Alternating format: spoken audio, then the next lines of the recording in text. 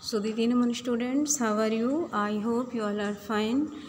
Students, before some days I have told you about a test and uh, I asked you to pre prepare the chapter 2 in English reader and uh, some chapters as uh, types of nouns, definitions with examples and uh, pronouns and some other exercises as pick out the nouns, proper nouns and common nouns and I hope you have prepared uh, these chapters and uh, today I am going to take a test okay question number one write the meaning of these words in words की आपको meaning लिखनी है roe deer stag trig and puzzled okay question number two write the body parts of these actions आपको इन actions के body parts लिखने हैं as smell climb chew and stare means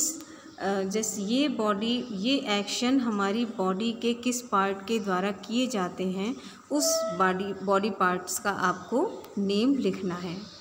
Okay question number three take the correct quantifier इसमें आपको correct answer पे tick करना है।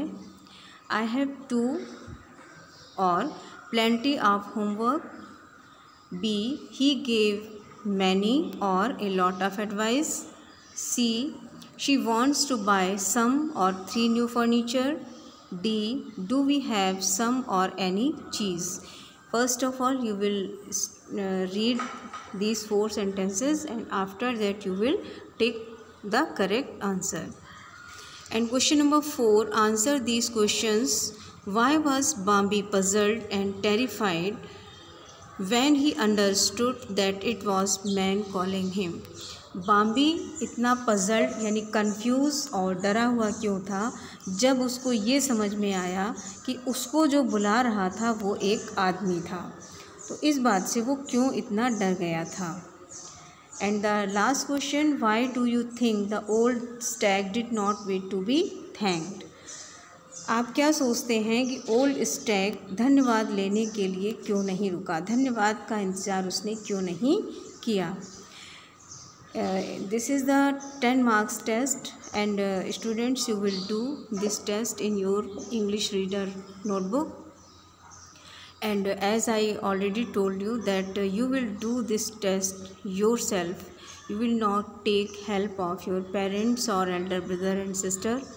Okay? You will do it honestly. And i have full trust on you.